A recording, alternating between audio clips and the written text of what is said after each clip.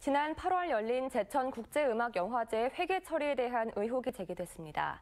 제천시의회 임시회에서 박영기 의원은 올해 책정된 영화제 예산 39억 7천만 원 중 장부상 3억 7천만 원이 남아 있어야 하지만 통장 잔고는 1억 2천만 원으로 2억 4천만 원이 부족하다고 주장했습니다. 이외에도 영화제 종료 후 미지급금도 7억 원이 넘는다며 대책 마련을 촉구했습니다.